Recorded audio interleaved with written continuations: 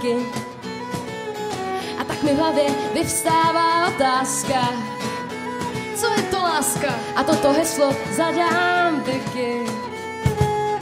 Láska je jak chřipkové onemocnění. Láska spočívá v tom, že se nám líbí někdo, kdo je pro ostatní nezajímavý. Láska je dokonalé duší souznění. Láska je bolest,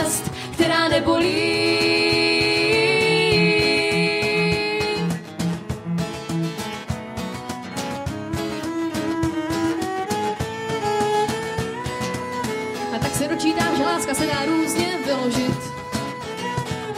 Že nejčastěji je to vztah mezi dvěma lidmi. Pro někoho to slovo znamená souložit. Co je to souložit? To si vygooglím jindy. Láska je jak chřipkové onemocnění.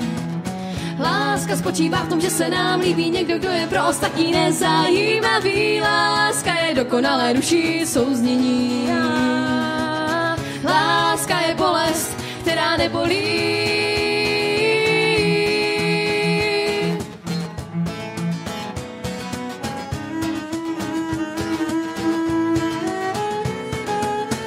Lidé se dělí na dvě skupiny. Na ty, co slovo láska užívají běžně.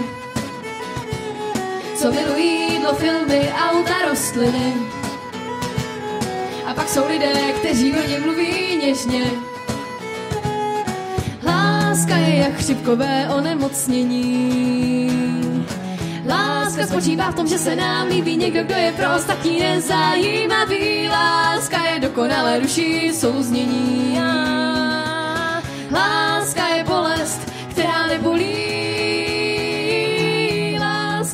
chřipkové onemocnění. Láska spočívá v tom, že se nám líbí někdo, kdo je pro ostatní nezajímavý. Láska je dokonalé duší souznění. Láska je bolest, která nebolí.